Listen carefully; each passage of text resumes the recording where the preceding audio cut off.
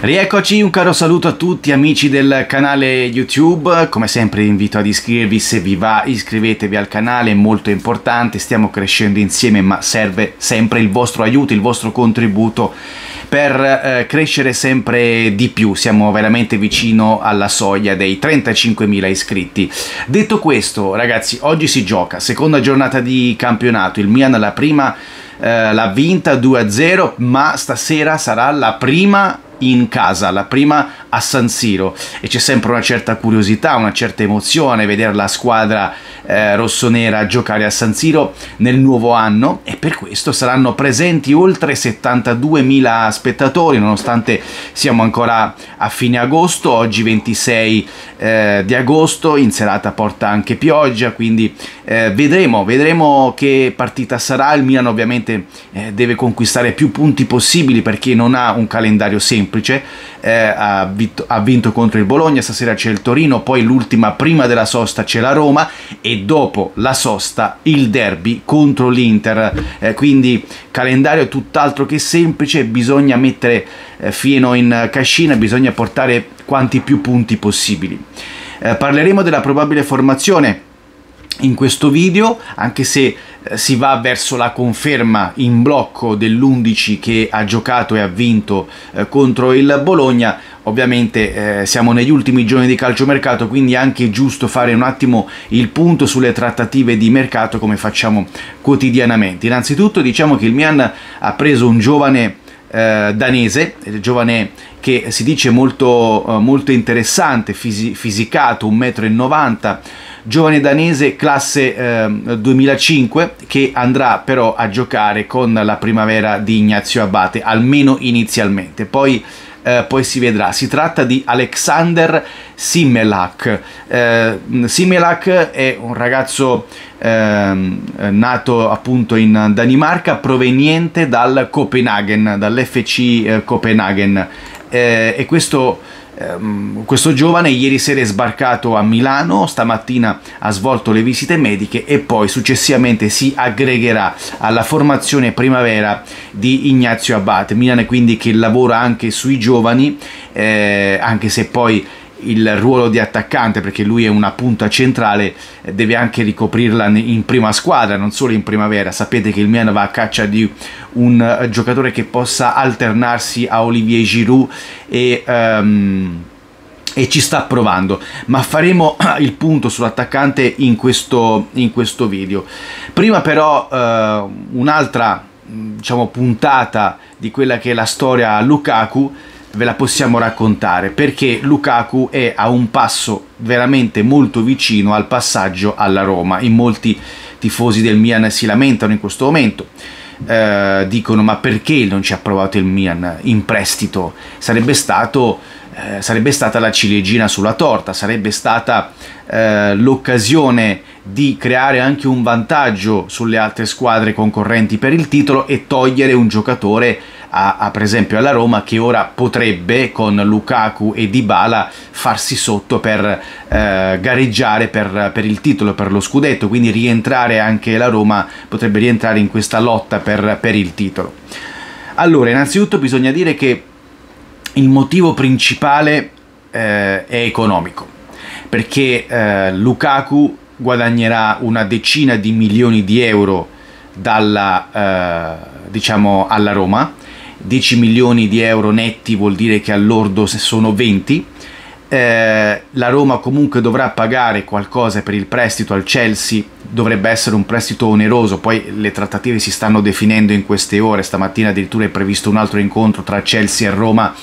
eh, a Londra, la, Roma eh, la squadra romana con eh, il presidente e il DS sbarcato, sono sbarcati a Londra ieri sera per eh, provare a chiudere la trattativa e quindi comunque un'operazione di oltre 20 milioni di euro. Il Milan che ha già speso 120-130 milioni sul mercato non se la sente in questo momento di fare come club, come società un investimento così eh, importante, anche perché questo prestito da circa 20 milioni di euro lordi, 10, 10 netti sostanzialmente per l'ingaggio, è questa operazione è un'operazione in prestito, quindi l'anno prossimo la Roma si ritroverà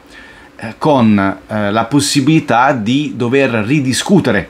eh, l'acquisizione di Lukaku. Se, lo, se, la se la stagione di Lukaku sarà positiva, altrimenti perderà 10 milioni e Lukaku tornerà al Chelsea, cioè non è un'operazione a titolo definitivo, è un'operazione in cui la Roma investe tanto nel, nel prestito del, uh, del, giocatore e uh, da quello che abbiamo capito questo tipo di operazione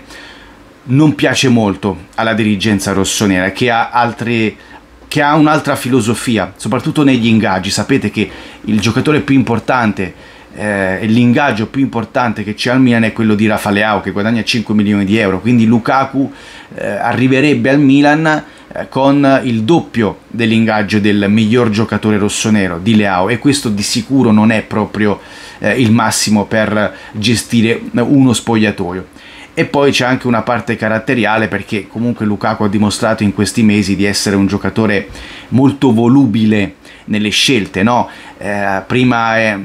ha voluto lasciare l'Inter per andare al Chelsea, poi ha rotto col Chelsea per tornare all'Inter, poi invece di confermarsi all'Inter si, si mette a dialogare, a trattare di nascosto con la Juve, poi non va alla Juve e, e va alla Roma che non gioca neanche la Champions, insomma comportamenti diciamo non proprio esemplari quelli di Lukaku. La cosa che possiamo dire è che nelle scorse ore c'è, stato, c'è stata anche una telefonata da parte dell'entourage di Lukaku al Milan per eh, appunto proporre il giocatore. Perché arrivati a eh, 10 giorni dalla fine del mercato ora ne mancano 6 ma eh, qualche giorno fa arrivato a 10 giorni dalla fine del mercato eh, Lukaku non aveva ancora squadra e quindi il suo procuratore, il suo entourage si è messo a telefonare un po' tutti i club, compreso il Milan, ha, ha ripreso a, a, dialogare anche con la Juve, alla fine tra Juve e Milan eh, ha visto che non c'era possibilità, non c'era terreno fertile, il Milan non ha aperto al prestito perché naturalmente eh, quelle cifre sono troppo alte soprattutto dopo aver investito 120-130 milioni. Probabilmente l'operazione Lukaku andava fatta a inizio mercato, dopo la cessione di Tonali, quando il Milan aveva ancora tutto il, budget e quando il Milan doveva ancora stabilire la, la strategia di rinforzo della rosa. Magari si poteva prendere Lukaku e attorno a lui costruire la squadra, ma non è un'operazione per il Milan da fare negli ultimi giorni di mercato dopo aver già completato la rosa e preso tutti gli altri eh, giocatori. E questa è un po' la filosofia eh, del Milan, la spiegazione del Milan sul perché non è stato preso Lukaku. Quindi giocatore proposto eh, il Milan non ha, non ha, aperto, stessa cosa la Juve, stessa cosa altre squadre, alla fine c'è stata l'occasione Roma e Lukaku sta per andare alla Roma. Aspettiamoci però la, la classica moncadata per quanto riguarda l'attacco del Milan. Vi dico già che anche ieri sera, facendo ulteriori verifiche eh, con la società rossonera, la risposta è sempre la stessa. Se c'è un'occasione clamorosa, se c'è un'occasione di mercato importante, il Milan rinforzerà la rosa prendendo un altro attaccante, un'altra punta. Altrimenti resterà Lorenzo Colombo che eh, comunque è un giocatore valido, deve ancora crescere, è vero, però ha, già due anni di esperienza in Serie A e potrebbe essere il terzo anno questo in Serie A per, per Colombo. Se il Milan invece coglierà l'opportunità di, una, di, un altro attaccante, Colombo rinnoverà il contratto e andrà in prestito al Monza. Le cose stanno così. In altri ruoli non mi sembra che il Milan voglia rinforzarsi. Ieri Stefano Pioli in conferenza stampa a Milanello ha confermato la versione che abbiamo dato nei giorni scorsi, ovvero che il Milan non prenderà un altro terzino, adotterà soluzioni interne, quindi Florenzi, Calabria, Bartesaghi, sono questi i giocatori che potrebbero alternarsi a Teo Hernandez sulla fascia eh, sinistra. Quindi eh, non resta che attendere una possibile occasione in attacco per il Milan, la classica moncadata, qualche giovane magari interessante, qualche ragazzo di qualche campionato non proprio di prima fascia e, eh, e il Milan potrebbe coglierla, altrimenti si resta così. Questo è un po' il messaggio, la filosofia eh, che arriva da, da casa Milan per quanto riguarda il mercato in questi ultimi giorni. Ma non ci dimentichiamo che stasera si gioca, quindi probabile formazione formata da eh, Megnan, Calabria, eh, Calulu, eh, scusate, Magnan, Calabria, eh, Malik Ciao, Tomori e Teo Hernandez in difesa, centrocampo con eh, Loftus-Cheek, Krunic e Reinders, l'attacco sarà invece formato da Pulisic, eh, Giroud e Rafa Leao, in panchina ci sarà per la prima volta Pellegrino, eh, la sua prima convocazione, c'è anche Musa per la prima volta che è invece squalificato contro eh, il Bologna e eh, naturalmente Ciucuese e tutti gli altri rinforzi del mercato estivo rossonero. Noi ci vediamo più tardi, un abbraccio, a presto, ciao!